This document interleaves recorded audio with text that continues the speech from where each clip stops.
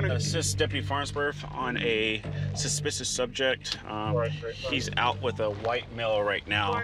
He's driving a suspended, revoked license.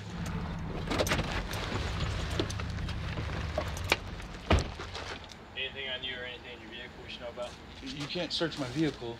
It's locked. Hey, Okay, what, Turn around. what did I do? Quit I'm around. No, I'm sorry, no, what did I do? no, no, What did I do, no, man? no, This is man. no. This is harassment. I didn't do anything. yeah, you did. What did I do, officer? Driving on a suspension, revoke No, license.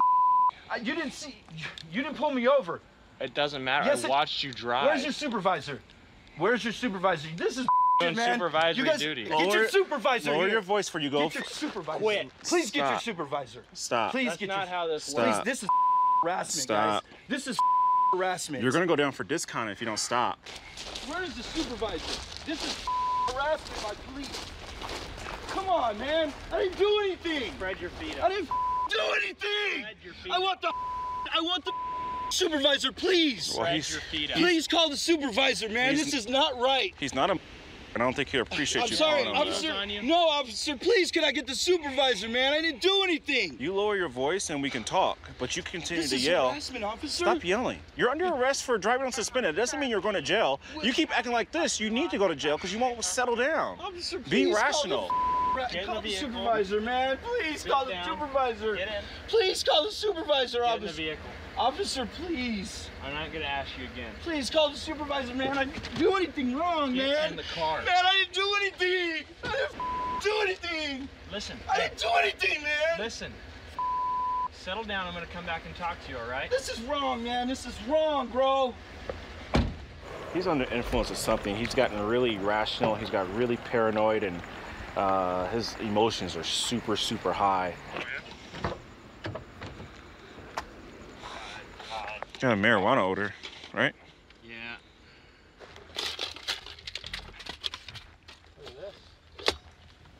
Oh, that's there. It is.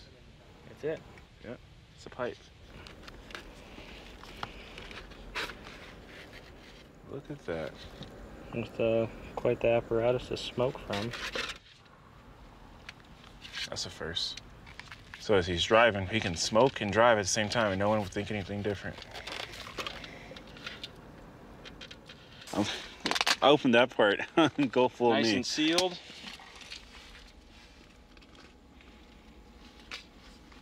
I knew that order was strong in there. Oh, there it is. I can tell this guy is all into hiding things because even in the back of his seat here, he has a, a hidden compartment in the back seat here, which has some white residue on it. So th- he's not a first timer at all. That piece runs out of the bottom of that cup and it hooks onto this knob in here. Looks like he's way he's got it rigged up. And it looks like this might be his little bowl area. that this is the definition of what proactive policing is. No, you're committing a crime. You're driving a suspended, revoked license at that.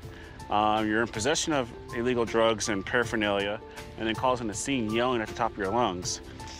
That's that's the definition of what we do.